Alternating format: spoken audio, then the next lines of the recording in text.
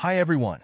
In this video, we'll see how to find the infinity and Euclidean norm of a vector and a matrix using an example. To compute the infinity norm of a matrix, calculate the sum of the absolute values of the elements in each row.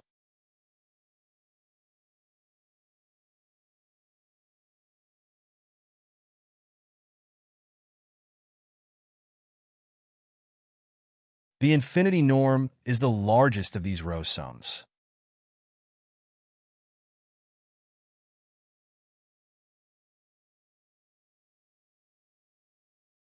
The infinity norm of a vector is defined as the maximum absolute value among its elements.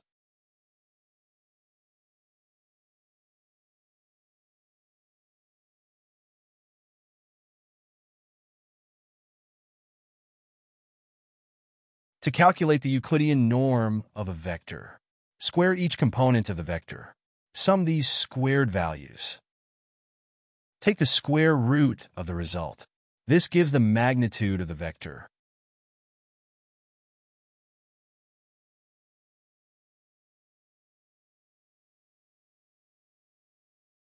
To calculate the Euclidean norm of a matrix, square each element of the matrix. Sum up all the squared values. Take the square root of the sum. This results in the Euclidean norm of the matrix. That's all for this video. Thanks for watching.